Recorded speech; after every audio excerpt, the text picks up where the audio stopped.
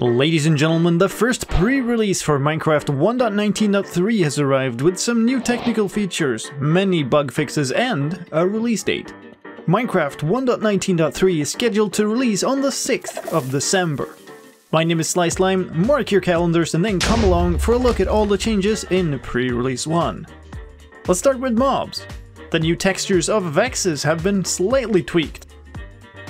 A problem with the way they sat in boats and minecarts has also been fixed. Allay movement broke in a previous snapshot, causing them to sometimes spin in mid-air, that is fixed in this version.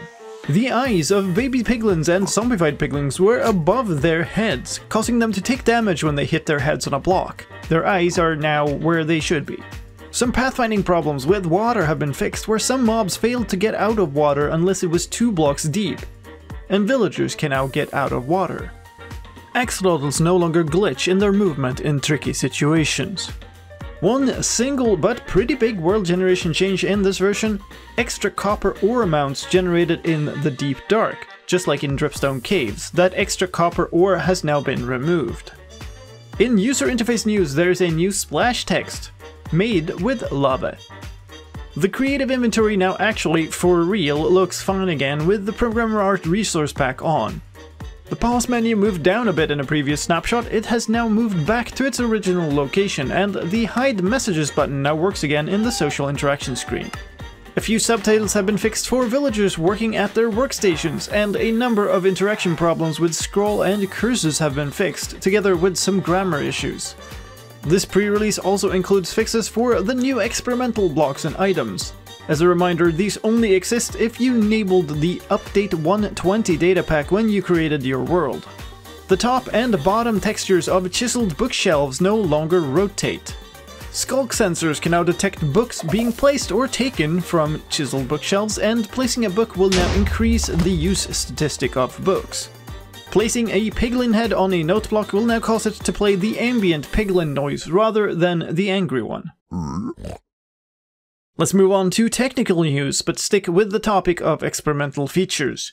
Player heads with custom data can now have a note block sound field. When such a head is placed above a note block, that note block will now play that sound.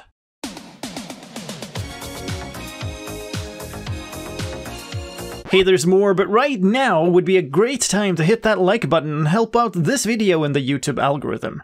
The last interacted slot of a chiseled bookshelf is now a block entity data field rather than a block state. In command news, the new fill biome command has a new optional mode for filling only biomes that match a filter. This is specified by adding replace and then either a biome ID or a biome tag after the command. A bug has also been fixed that would cause biomes to glitch out on the client after changing, like when using the fill biome command.